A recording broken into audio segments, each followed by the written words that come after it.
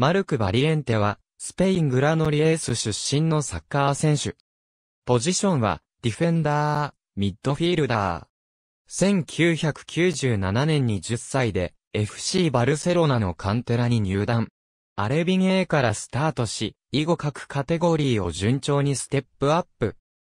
同世代には、セスク・ファブレガス、リオネル・メッシ、ジェラール・ピケ、ビクトール・バスケス、トニ・カルボ、フランク・ソンゴなどがおり、彼らと共に黄金のカデッテチーム形成した。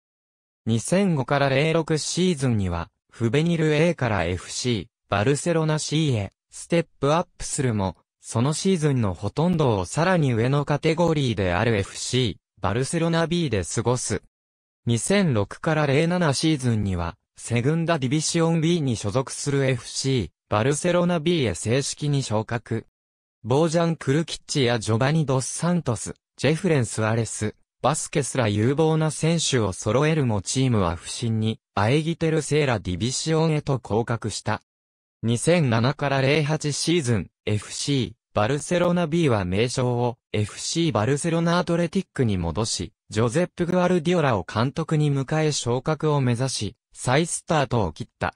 バリエンテ自身はレンタル、あるいは完全移籍でより高いレベルで自分を磨くことを希望したが、グアルディオラ監督の強い要望があり、残留を決意した。このシーズンは、監督から絶大な信頼を得て、チームのキャプテンとして活躍。セグンダディビシオン B よりもさらに、フィジカルコンタクトの激しいテルセーラディビシオンで、たびたび負傷するも、監督たっての要求で痛み止めを打ちながらも無理して、何試合も出場していたという。さらには、チーム状況によって、グアルディオラ監督に、バリエンテは、ピボーテ選手として必要なものをすべて持ち合わせている。と、中盤で起用されその能力を遺憾なく発揮した。チームは見事リーグ優勝を果たし、続く昇格プレイオフでも勝利をわずか1年でセグンダディビシオン B への復帰を果たした。トップチームのフランク・ライカールト監督に招集され、コパデルレーの CF バダロナ戦セカンドレグでトップチームデビューを飾った。2008年夏にはグアルディオラ監督がトップチームの監督に就任し、プレシーズンキャンプでは数人のカンテラーノたちがトップチームに招集されたが、バリエンテが招集されることはなかった。クラブは、バリエンテと同じ1987年生まれのセンターバック二人、数年前にマンチェスターユナイテッド FC に移籍したかつてのパートナーピケを買い戻し、マルティン・カセレスを獲得するなど、完全にバリエンテにはトップチームでの居場所はなく、セビージャートレティコへ3年契約で移籍した。セビージャートレティコでは移籍直後こそ、出場が少なかったものの、すぐにレギュラーを獲得。主に本来のポジションである、センターバックではなく、守備的ミッドフィールダーや、右サイドバックでのプレーが多かった。移籍1年目にまたしてもチームが降格するという不運を味わっている。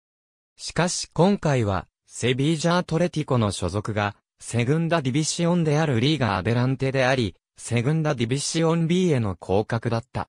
トップチームで、リーグ戦に出場するチャンスはなかった。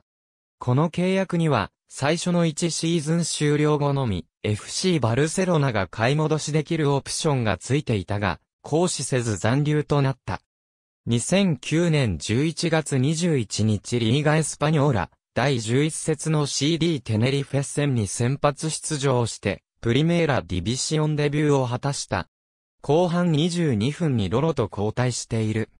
12月13日、第14節のスポルティング基本戦の前半27分、負傷したアドリアーノ・コレーアに交わり出場した。出場直後の前半30分に、プリメーラで、初のイエローカードをもらった。2010年7月、レアル・バリャドリードへの完全移籍が発表された。2015年7月2日、マッカビハイファ FC に移籍した。スペイン代表としては UEFA U-19 欧州選手権2006では、バルセロナ時代の同僚ピケ、ジェフレン、バレンシアのマタ、レアル・マドリードのグラネロ、アダニア、スポルティングで非本位のカネージャなどと出場。ピケと共にセンターバックのレギュラーとして、コンビを組み優勝に貢献。その後カナダで行われた FIFA U-20 ワールドカップにも出場している。ありがとうございます。